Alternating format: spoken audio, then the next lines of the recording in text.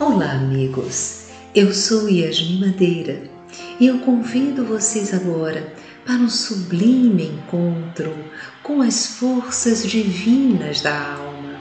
Trago para vocês hoje uma mensagem do benfeitor Emmanuel contida no livro A Luz da Oração, psicografado pelo nosso inesquecível Francisco Cândido Xavier.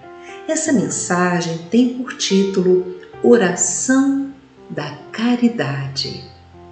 Amigo, em meu manto constelado de amor guardo todas as criaturas. Tenho estado contigo desde a hora primeira, embalei-te o berço frágil, acalentei-te nos beijos de tua mãe, segui-te os passos na escola, orientei-te as mãos no trabalho. Venho ao teu encontro por inspiração de Jesus, a quem obedeço em nome do Pai excelso. Com ele estiveste, com ele estive em todos os instantes do apostolado.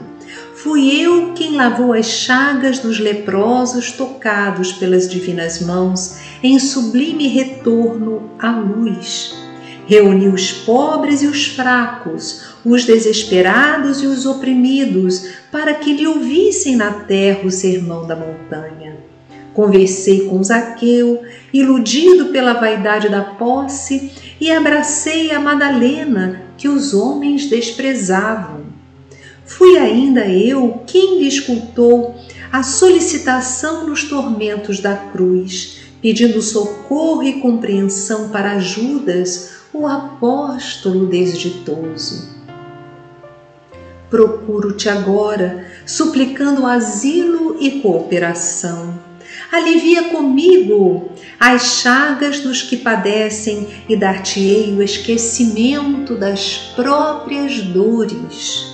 Cede-me tua palavra para que o fel se extinga no mundo e entrega-me teus braços para que o bem se espalhe vitorioso. Ouve-me e perceberás as revelações de Deus. Acompanha-me e conhecerás a felicidade. Não te detenhas, ainda hoje necessito de ti, para que gemidos emudeçam e lágrimas se estanquem. Não importa o que tenhas sido, importa que te rendas ao Cristo para que a terra te abençoe a passagem.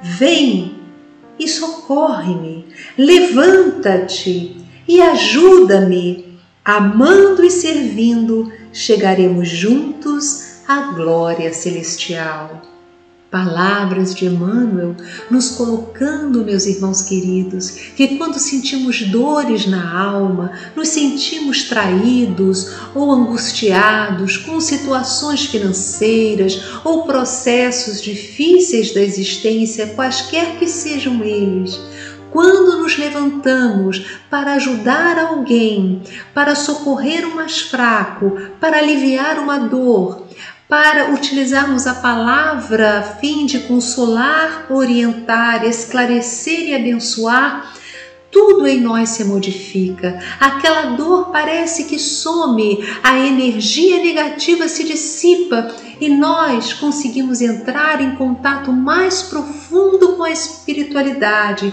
que vai nos orientar e esclarecer no caminho do bem rumo à felicidade.